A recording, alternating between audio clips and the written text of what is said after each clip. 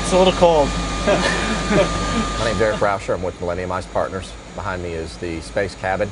It's a product that provides cryotherapy treatment for athletes and clients of ours. And what we do is we use liquid nitrogen, which is obviously super cool. Uh, pump it into the product. It's transformed into gasiform air within this part of the, the device, and then pumped into this cylinder behind me where the athlete stands to achieve temperatures of up to minus 300 degrees Fahrenheit. It's like standing in, in front of a freezer for a really long time.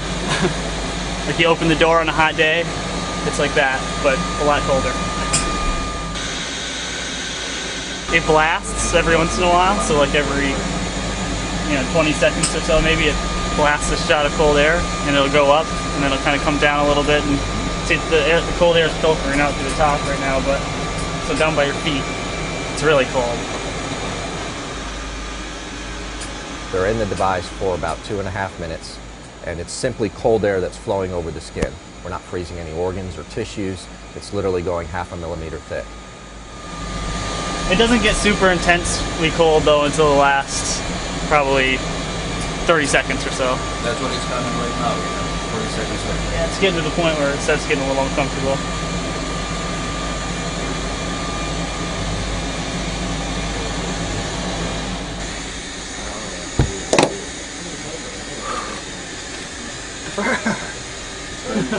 Was it good That today? is a lot colder if you uh, don't have your hands up like that.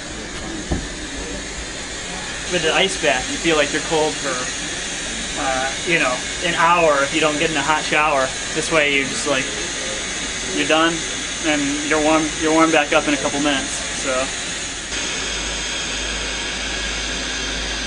Ready, sir? yeah, Welcome Uh, to the space. like four miles probably. Whatever he did, I want it twice as cold.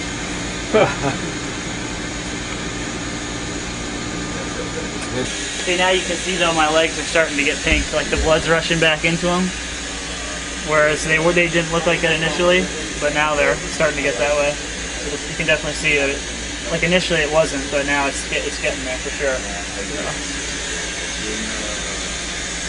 So that's kind of what happens, you know, as everything rushes back in after you get to warm right away. How many times have you been in this, Alberto? Probably about 14 times.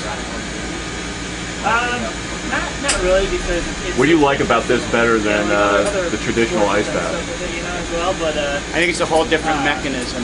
I actually Nice bath. really good, you know. So like if all of a sudden It may help you recover have a bigger problem in terms of maybe flushing something out of your legs, but but I uh, definitely don't have any. I think the way this works, what I felt in some of my runners is that it just seems their whole body recovery, tiredness and soreness everywhere in their body is much less after doing this.